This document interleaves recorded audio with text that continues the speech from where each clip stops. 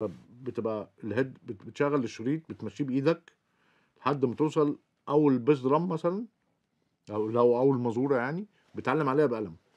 وتروح عند آخر كوبليه بتروح برضو معلم بقلم. يا تشيل المنطقة دي وتروح لاحم أو تعمل copy أنت تسجلها مرتين وتروح واخدها حاططها مكان تاني مثلا بعد الكوبليه الأولاني مثلا أو بعد السولو أو كده يعني.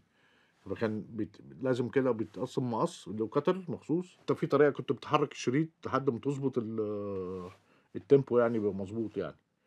وبس بتلزق كده بالبتاع خلاص بتلزق باللزاق يعني. كنا بنشتغل ما بننامش تقريبا. كان في كمية إنتاج ضخمة جدا وكان في نهضة. تعتبر نهضة للمزيكا. المزيكا اتطورت جدا. نوع المزيكا اتطور و... وتكنيك اللعب بتاع المزيكا اتغير. آه، إذا كان شرقي أو غربي أو كده يعني حصل mix بينهم يعني.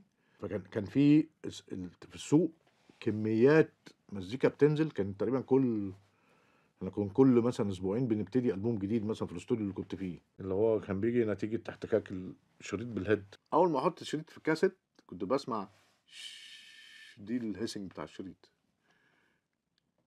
وبعد المزيكا تخش.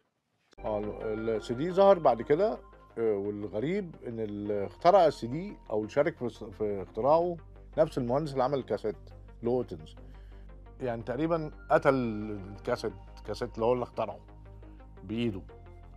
وقعدت سألوه أنت عملت كده إزاي؟ قال لهم أنا أنا يعني أنا أنا بشتغل مهندس فلازم أشتغل وأطور. آه، ماليش دعوة بال يعني إن يعني أنا اللي عملت كاسيت قبل كده ده تطوير يعني. تسمع مزيكا معينة على كاسيت؟